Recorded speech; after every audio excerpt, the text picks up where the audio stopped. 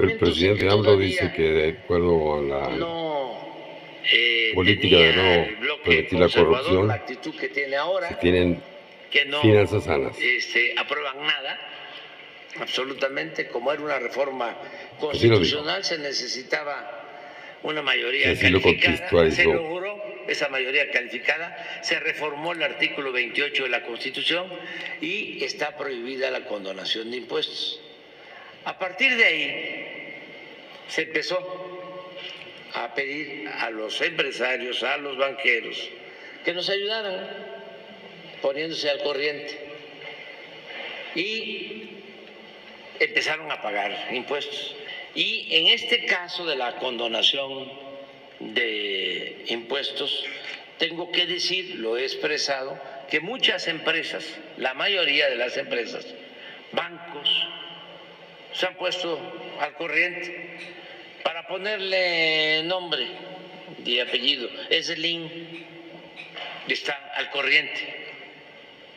Eh, el señor Fernández del Oxo, Antonio, creo que se llama, Fernández, de los Oxos, debían como 12 mil millones. Estuvieron en el SAT, todavía estaba Raquel Buenrostro y se llegó a un acuerdo. Los de Walmart, incluso por instrucciones del gerente de, de Walmart eh, a nivel mundial, eh, llegaron al SAT y se pusieron de acuerdo y pagaron 12, 14 mil millones. Los directivos de Televisa que vendieron una parte de Televisa Univisión también pagaron que creo que 5 o 6 mil millones de pesos. Eh, Bimbo pagó impuestos y así muchos están eh, pagando impuestos. Esto nos ha ayudado bastante porque se ha incrementado la recaudación sin aumentar impuestos y sin endeudar al país y sin gasolinazos y sin que aumente el precio de la luz. Entonces, nos ha ayudado mucho esta política, desde luego. Lo fundamental ha sido no permitir la corrupción.